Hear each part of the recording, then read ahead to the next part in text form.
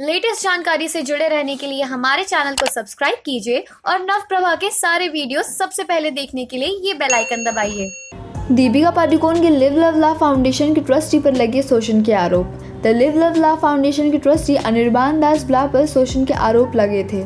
दीपिका के फाउंडेशन की ओर से जारी एक बयान में कहा गया है कि फाउंडेशन किसी भी प्रकार के शोषण को समर्थन नहीं करेगा। उन्होंने लिखा, the live love laugh foundation sexual harassment और महिलाओं के सम्मान के मामले में ज़ीरो टॉलरेंस पॉलिसी का पालन करता है। ऑर्गेनाइजेशन की महिलाओं के साथ सभी को काम करने के लिए सुरक्षित माहौल देना सभी का फ़र्ज़ है। हमारे ट्रस्टी अनिर्बान दास ब्ला पर लगे शोषण के आरोप के बाद उनसे इस्तीफ़ा ले लिया गया है। इसके बाद उनसे सभी अथॉरिटी वापस ले ली गई और अब वो इस फाउंडेशन का हिस्सा नहीं है।